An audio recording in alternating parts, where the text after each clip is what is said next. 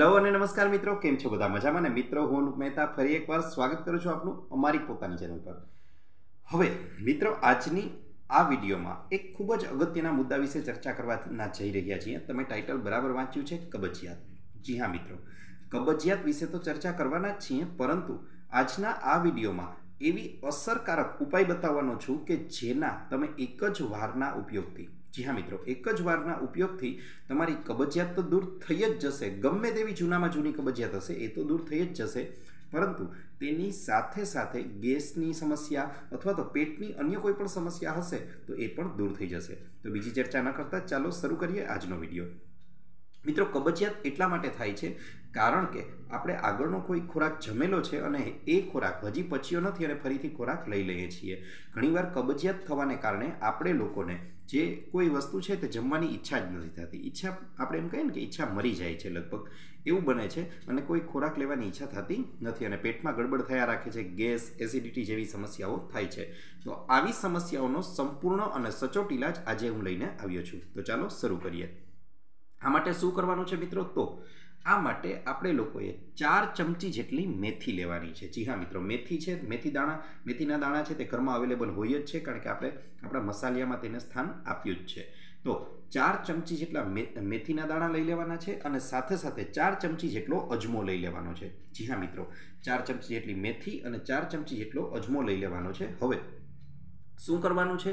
તો બસ એક સ્ટીલની તપેલી લઈ અને તેમાં થોડું અડધી ચમચી જેટલું જો શક્ય હોય તો ગાયનું દેશી ઘી લઈ. અથવા કોઈ પણ ઘરમાં જે ઘી યુઝ કરો છો તે ચાલશે. અડધી ચમચી જેટલું ઘી તેમાં ઉમેરી અને તેમાં આ જે મેથી લીધેલી છે તેને પાંચથી સાત મિનિટ સુધી ધીમા ગેસ પર, ગેસની મીડિયમ ફ્લેમ પર તેને શેકવાના છે. હળવી હળવી તમને સુગંધ આવવા લાગશે. એટલે મીડિયમ ફ્લેમ પર તેને શેકી લીધા બાદ બસ મેથીને હવે એક ડીશમાં અલગ કાઢી લો. ત્યારબાદ હવે કોઈ ઘી ઉમેરવાની જરૂર નથી. ફરીથી એ જ તપેલીમાં તમે અજમો છે આપણે લીધેલો હતો ચાર ચમચી જેટલો એ અજમાને હવે તમે એમાં શેકી લો. અજમાને શેકી લેશો. હવે બંને વસ્તુઓને આપણે શેકી અને એક ડીશમાં અજમાને પણ એ જ રીતે પાંચથી સાત મિનિટ શેકવાનો છે. બંને વસ્તુઓને શેકી લીધા બાદ હવે એક ડીશમાં અલગથી કાઢી લો. હવે મિત્રો શક્ય હોય તો બંનેને આપણે દળવાના છે, મિક્સરમાં પીસી લેવાના છે. પરંતુ અલગ અલગ દળજો કારણ કે મેથી છે તે પ્રમાણમાં થોડી હાર્ડ હોય છે, કઠણ હોય છે. એટલે પીસાતા વાર લાગે છે, જ્યારે અજમો છે તે સરળતાથી પાવડર થઈ જાય છે. માટે પહેલાં મેથીનો પાવડર બનાવી લો, ત્યારબાદ મેથી અને અજમો બંનેને મિક્સ કરી દો અને ફરીથી તેને મિક્સરમાં ગ્રાઇન્ડ કરી લો, દળી લો. બંનેનો પાવડર તૈયાર થઈ જશે આપણી પાસે. હવે તેમાં ઉમેરવાની છે આપણે બે વસ્તુઓ. જી હા મિત્રો, અડધાની પણ અડધી ચમચી, એટલે કે લગભગ પાંચ ચમચી કહી શકાય. અડધાની પણ અડધી ચમચી જેટલી આપણે ઘરમાં જે ઉપયોગ કરીએ છીએ તેવી તાજી હિંગ ઉમેરવાની છે. હિંગ ઉમેરી દીધા બાદ આપણે લોકોએ હવે તેમાં વન ફોર્થ એટલે ફરીથી અડધાની પણ અડધી ચમચી જેટલું સંચળ ઉમેરવાનું છે, કે જેને હિન્દીમાં આપણે લોકો કાલા નમક એટલે ગુજરાતીમાં છે ને આપણે સંચળ કહીએ છીએ, એ સંચળ ઉમેરી દેવાનું છે. સંચળ છે એ આ ચૂર્ણ બન્યું છે, જે પાવડર બન્યો છે, તેનો ટેસ્ટ પણ સુધારશે અને તમને પણ ખૂબ જ સ્વાદે ભાવશે. હવે મિત્રો આવે છે વાત આને યુઝ કરવાની. તો યુઝ કરવાની ટેકનિક ખૂબ જ અલગ છે અને જરૂરી, જાણવી જરૂરી છે. તો હવે એ જણાવી દઉં મિત્રો. સામાન્ય રીતે કોઈ પણ વસ્તુ આપણે લઈએ છીએ તો જમ્યાના પહેલાં એટલે ભૂખ્યા પેટને કા ભૂખ્યા પછી લઈએ, એ આપણને ખ્યાલ છે. આમાં શું કરવાનું છે તો યાદ રહે મિત્રો, અઠવાડિયામાં મેક્સિમમ આ ચૂર્ણ છે તેને આપણે ત્રણ વાર લેવાનું છે. અઠવાડિયામાં આ ચૂર્ણ મેક્સિમમ વધારેમાં વધારે ત્રણ વાર લેવાનું છે. ત્રણથી વધારે વાર લેવાની જરૂર જ નહીં પડે. કારણ કે એક વારમાં જ તમને એની અસર દેખાવા લાગશે.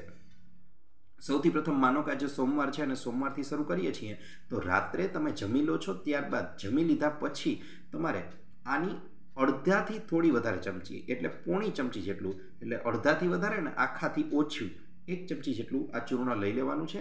હવે તેને આપણે લઈ તેને પાણી સાથે પણ લઈ શકો છો અને એમને કોરું પણ ખાઈ શકો છો. એક ચમચી જેટલો જે પાવડર છે તેને તમે મોઢામાં ઉતારી જાવ ગળે અને ત્યારબાદ તમે એની માથે નવસેકું પાણી, અડધો ગ્લાસ જેટલું નવસેકું પાણી પી જાઓ. બસ, આ જ ટેકનિક છે. હવે આજે સોમવારે લીધો છે, તો ફરી પાછું મંગળવારે લેવાની જરૂર નથી. બુધવારે લેવું હોય તો લો, બાકી સીધું ગુરુવારે અને પછી સીધું રવિવારે. આ રીતે અઠવાડિયામાં ત્રણ વાર પ્રયોગ કરશો.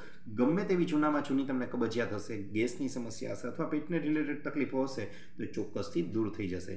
કારણ કે મેથી છે, અજમો છે, સંચળ છે, એમ અને હિંગ, એ એવી વસ્તુઓ છે કે જે પેટને લગતી સમસ્યાઓને દૂર કરવામાં એક રામબાણ ઇલાજ તરીકે કામ કરે છે. તો મિત્રો, આ તો હતો અમારો આજનો વીડિયો. આપના વીડિયો કેવો લાગ્યો? કોમેન્ટ બોક્સમાં કોમેન્ટ કરી જણાવો. વીડિયો ગમ્યો હોય તો વિડીયોને લાઇક કરજો. આપને હેલ્થ રિલેટેડ કોઈ સમસ્યા હોય તો એ પણ ચોક્કસથી અમને કોમેન્ટ બોક્સમાં શેર કરજો. અમે તેને અનુરૂપ પણ નવા વીડિયો બનાવવાનો પૂરતો પ્રયાસ કરીશું. આપનો ખૂબ ખૂબ આભાર.